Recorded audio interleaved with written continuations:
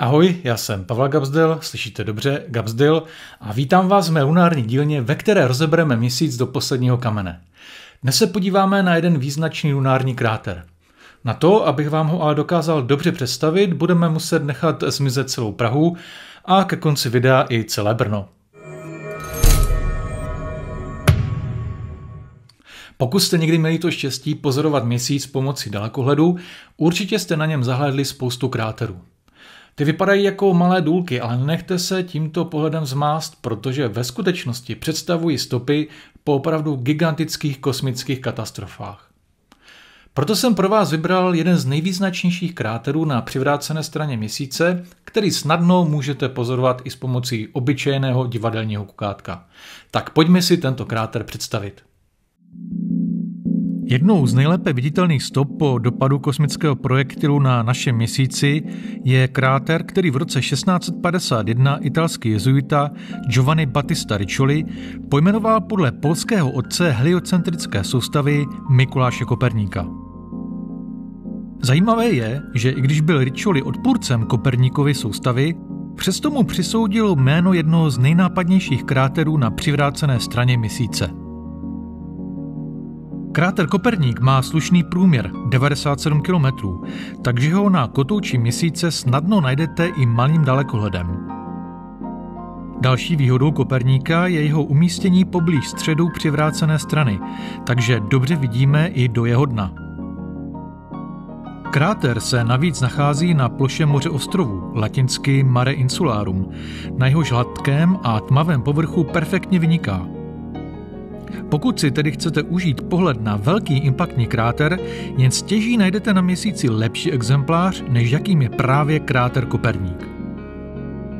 Zmíněné přednosti kráteru Koperník by nám ale byly úplně k ničemu, kdyby nešlo o dobře zachovanou stopu kosmické katastrofy. Geologové dokonce občas žertu říkají, že Koperník je nejstarším mladým kráterem na měsíci.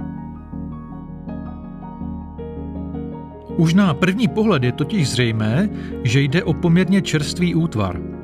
Všimněte si, že jeho kontury jsou oproti jiným kráterům velmi ostré a méně obroušené zubem času, který funguje opravdu i na měsíci. Zjistit jeho stáří ovšem nebylo vůbec nic jednoduchého. Možná vás to překvapí, ale takzvané absolutní stáří známe jen u několika měsíčních kráterů a Koperník naštěstí patří mezi ně. Jeho přesné stáří se podařilo zjistit díky radiometrickému datování vzorků, které získala posádka Apollo 12 v listopadu roku 1969. Podle dřívějších analýz vycházelo stáří kráteru na asi 810 milionů let. Dnes se věci přiklánějí k tomu, že je o něco mladší, asi 782 milionů roku.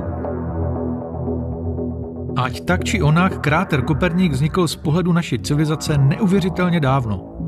Kdyby tento kráter nevznikl na měsíci, ale na Zemi, zbyly by z něj už jen trosky. Vrásnění pohoří a velmi silná eroze by ji totiž dávno setřeli ze zemského povrchu. Z pohledu vývoje měsíce ovšem kráter Koperník patří rozhodně k těm mladším útvarům. Tak a teď konečně dochází řada na naše hlavní město. Abychom si totiž dokázali představit skutečné rozměry kráteru Koperník, tak umístím jeho centrum přímo do Prahy. Koperník je totiž poměrně malý kráter pro měsíc, ale velká díra pro Prahu. Ostatně mého přirovnání si všiml i Pražský institut pro urážení Brna. A i když jsem rodilý havířovák, který dlouhodobě žije v Brně, tak mám Prahu prosím vás opravdu rád a nehledejte v tomto přirovnání vůbec nic osobního. Už v úvodu jsem zmínil, že bychom se neměli nechat zmást tím, jak se nám kráter Koperník jeví v malém dalekohledu. Tento zdálnivě malý lunární kroužek totiž vznikl při strašné katastrofě, Konkrétně při dopadu asi 7-kilometrové planetky její střed se Zemí by měl dnes děsivé důsledky. Obrovská energie skrytá v rychlosti dopadajícího tělesa by se v mžiku proměnila v energii gigantického výbuchu a místo dopadu by bylo vystaveno mnohonásobně vyšší teplotě, než jaká v současnosti panuje na povrchu našeho Slunce. Pokud by takováto planetka dopadla do Prahy, vše živé by v oblasti střední Evropy zahynulo. A nejen to. Následná změna klimatu způsobená impaktem by na dlouhé roky postihla takřka celý svět. Kdybychom tento impact sledovali z Brna, dorazila by k nám už pět sekund po dopadu planetky do Prahy mohutná tepelná vlna, která by sežehla vše, co by jí stálo v cestě. Necelou minutu po impaktu by pak město zasáhly otřesy půdy o síle, jež by překonali dosud největší zaznamenaná zemětřesení. A aby toho nebylo málo, asi čtyři minuty po impaktu by se na nás nesl kamenný déšť hornin vymrštěných přímo z kráteru. Dílo zkázy by pak dokončila tlaková vlna, která by se zničenou moravskou metropolí prohnala 10 minut po impaktu. Síla tlakové vlny by přitom dalece překonala i ta nejničivější pozemská zaznamenaná tornáda. Pražský kráter by ale věrnou kopií lunárního originálu rozhodně nebyl. Na Zemi totiž panují jiné podmínky než na měsíci, takže stopy po dopadech kosmických projektilů vypadají na obou tělesech poněkud jinak. Kdybychom ale i tak střed lunárního Koperníka přenesli do Prahy, lemovalo by hranice středočeského kraje pohoří, které by se zvedalo do výšky až 900 metrů nad okolní krajinu. Území Čech by se proměnilo v kopcovitý terén protkaný řadou hřbetů a údolí směřujících k centru samotného kráteru. Celou Prahu i Skladnem a Českým Brodem bychom našli na dně obří prohlubně, kterou by dopad planetky zatlačil o více než 3 kilometry pod úroveň okolního terénu. Kruhové pohoří lemující středočeský kraj by mělo terasovité uspořádání vnitřních stěn valů, které vzniklo postupnými gravitačními sesuvy. V samotném centru kráteru by se nacházely pahorky vypínající se až do výšky 1,2 km nad okolní dno. Tyto takzvané středové vrcholky Koperníka by překryly celou Prahu. Jejich svahy by ale nebyly nijak příkré. Svým profilem připomínají spíše vrcholy Beskyt než skalnaté štíty Vysokých Tater. Mimochodem, jak středové vrcholy, tak i terasovité valy dělají z Koperníka zástupce tzv. komplexních kráterů, které mají na měsíci obvykle průměr větší než 35 km. Dalším typickým znakem lunárního kráteru Koperník je i přítomnost paprsčitých sítí sekundárních kráterů, které připomínají území vybombardované leteckými pumami.